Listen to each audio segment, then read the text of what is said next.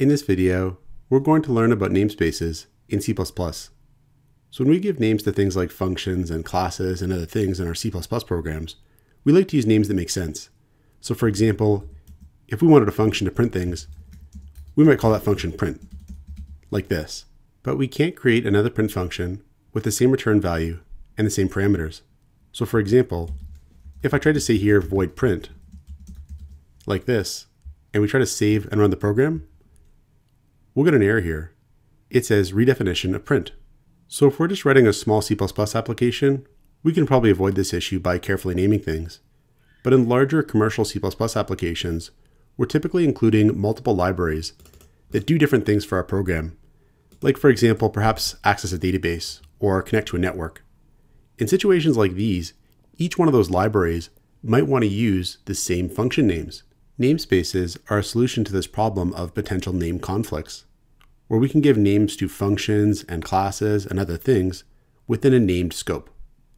Languages like C that don't have namespaces had to solve this problem in other ways.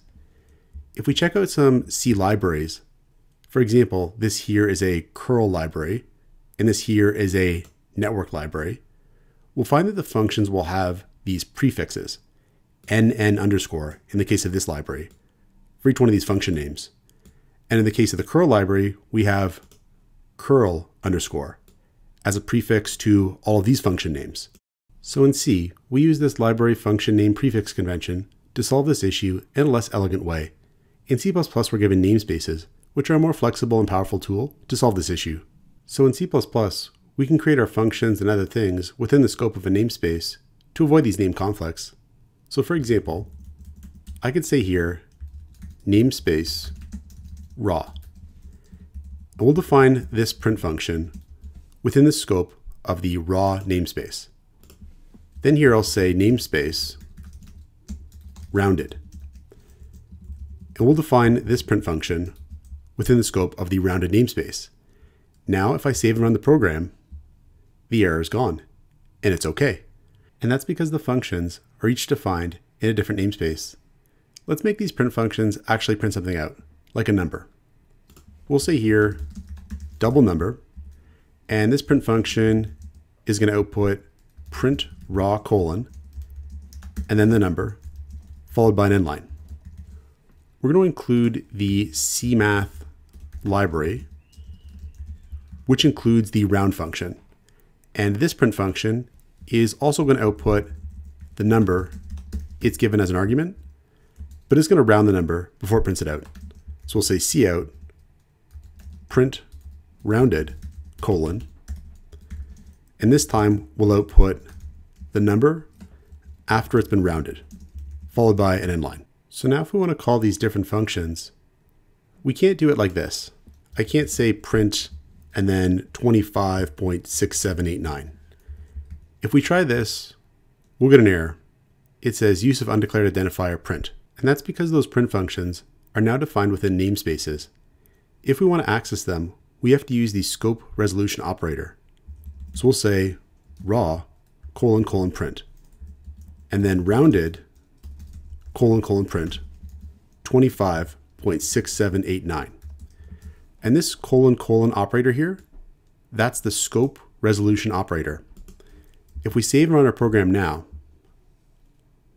we'll find that the first time the number is printed out, it's with the print raw function that outputs the number without being rounded. The second time it's printed out, we get that rounded number. So we're calling both functions now using this scope resolution operator. So instead of using the scope resolution operator, we could also say using namespace, and we could give the name of one of the namespaces here, like rounded. Then we could just say print 25.6789. And if we save and run our program here, we'll see that it's the print function defined inside the rounded namespace that gets called.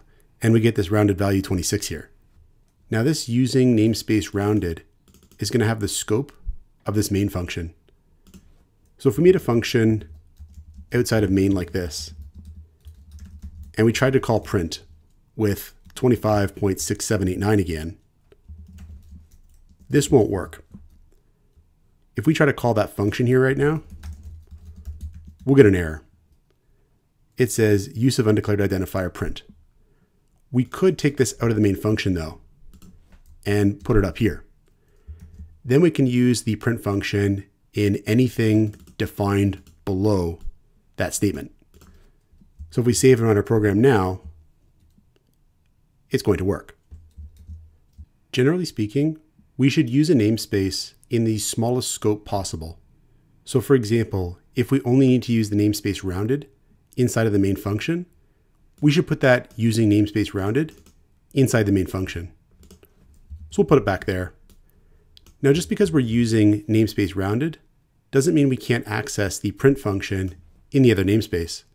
We could just say raw colon colon print and then 25.6789 and we'll still be able to call the print function defined inside the raw namespace. Where we would have a problem is if we tried to use both namespaces. So if I said using namespace and then raw here, if we then try to call print without this scope resolution operator, if we try to save and run our program here, we're going to end up with an issue that's very similar to what we saw before, where now we get that print is ambiguous. We may not always want to use an entire namespace. Maybe there's too many things defined inside of it. What we could do instead is say using, and we'll say raw colon colon print. And what we're doing here is now using print specifically, defined inside the raw namespace. So if we save and run our program here, we can use the print function like this without the scope resolution operator, but we're only using print from the raw namespace. We're not using anything else defined in the namespace. To access those things, we would have to say raw colon colon as we've done before. Now, one thing we can do as well is give an alias to a namespace.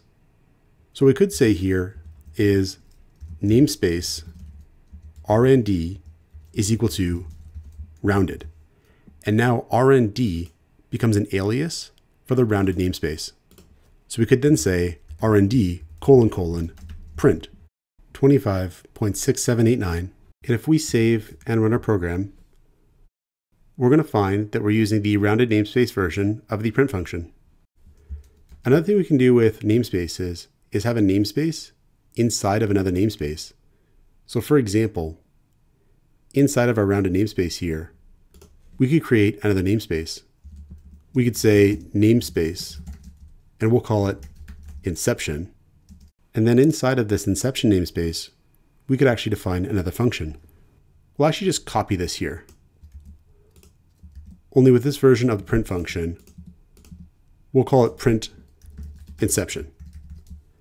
Now to use this print function defined inside the inception namespace, inside of the rounded namespace, it's going to be very similar to what we've been doing already. We'll say here, rounded, inception, print, and then 25.6789. And if we save and run our program, we're going to find it's that print function defined inside the inception namespace, which is itself defined inside the rounded namespace that gets called. So that's how we can define a namespace inside of another namespace. We can also use the using keyword with this namespace as well. We could say using namespace rounded colon colon inception and then we could just use the print function like this. And if we save and run the program, we'll get that it's the inception version of the print function that's called. Now, if we keep defining namespaces inside of namespaces, our code could become hard to follow, especially if we keep on indenting each namespace. In modern versions of C++, we're given an additional way of defining a namespace within a namespace. We could say here, namespace rounded colon colon inception, and this would define this inception namespace within the rounded namespace, but allows our code to have less of the indenting problem that we had before. We could then call the function like this.